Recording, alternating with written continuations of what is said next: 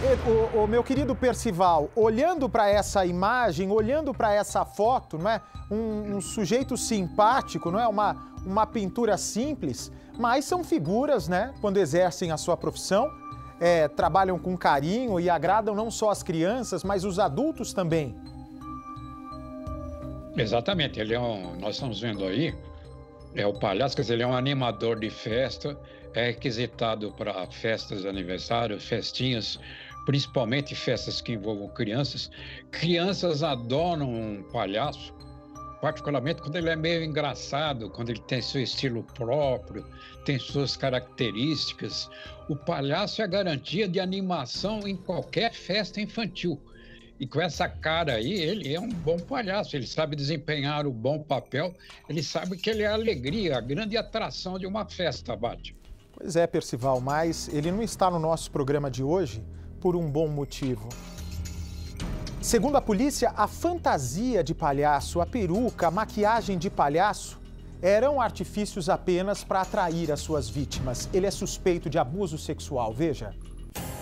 As denúncias são contra Dinamar Rezende, de 54 anos. Um homem muito conhecido por trabalhos sociais e religiosos com crianças desde 1980. Ele também comandava grupos de danças. As meninas que faziam parte seriam as vítimas do suspeito. A denúncia formulada numa rede social por uma das vítimas, né? E por um abuso que teria acontecido no início dos anos 2000. E isso já dista aproximadamente 16, 17 anos do fato em si. E quando eu procurei o perfil dele, eu achei logo de cara que eu abri, eu vi a foto de capa dele, era rodeado de crianças. A foto dele de perfil era vestido de palhaço. Então, quando isso aconteceu, houve uma grande é, repercussão na cidade e um inquérito policial foi instaurado. A partir desse momento, algumas vítimas procuraram a delegacia com o mesmo propósito de fazer uma denúncia. Até agora, 14 mulheres procuraram a Polícia Civil e disseram que também foram vítimas de estupro na infância em Várzea da Palma, no norte de Minas. Os moradores da cidade, com quase 40 mil habitantes, ficaram chocados com a quantidade de abusos cometidos pelo suspeito. À época dos fatos, Dinamar fazia de tudo para atrair as vítimas. Sempre com a mesma estratégia. Olha, vamos fazer um grupo aqui para a gente poder dançar, as crianças vão dançar. Aí promovia um torneio de futebol, e sempre passava nas casas, pegava as meninas, levava para outros lugares.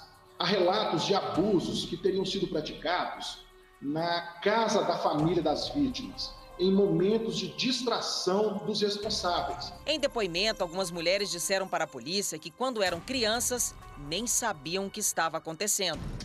Todas as vezes que eu lembro dele, eu lembro desse momento, porque foi assim é o último momento que eu vi o rosto dele e ele entrando no quarto e apagando a luz. E a todo momento eu pensei assim, se eu contasse para alguém, ninguém vai querer acreditar em mim. E também tem outra coisa que eu senti muita vergonha. Eu sentia vergonha, eu senti nojo, eu sentia medo, é, medo de falar alguma coisa e ele tentar fazer alguma coisa. E aí eu fiquei mais acuada, não falei nada para minha mãe, não falei nada para ninguém. Eu guardei, fiquei quieta. Algumas falas eu achava estranho, mas eu não sabia o que estava acontecendo. Com o passar do tempo, com o meu amadurecimento, é que eu fui ter, de fato, a consciência do que estava acontecendo. E isso gerou uma grande angústia né, nessas mulheres, com diversos relatos de diversos impactos psicológicos hoje na fase adulta. Dinamar Rezende aguarda o processo em liberdade, mas a justiça deferiu a liminar que estabelece algumas medidas cautelares ele está proibido de manter contato com as supostas vítimas e não pode se envolver em trabalhos com crianças. Porque até então, antes de, de aparecer essa denúncia, ele trabalhava na escola. Estava fazendo um trabalho na escola. Então, ele conhecia muitas crianças, tinha contato com muitas crianças. Então, já ele já estava proibido dessas atividades. A justiça proibiu ele dessas atividades. Então, eu já considero como uma, um ganho porque até então ninguém sabia de nada e ele estava solto livremente, totalmente livre entre elas.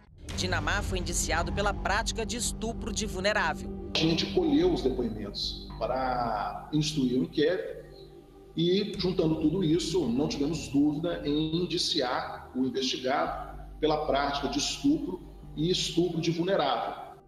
Então eu já entendo como um ganho nosso. Então, assim, eu vejo que não está sendo em vão. E eu quero mais, eu quero que ele realmente seja preso e que pague por tudo isso.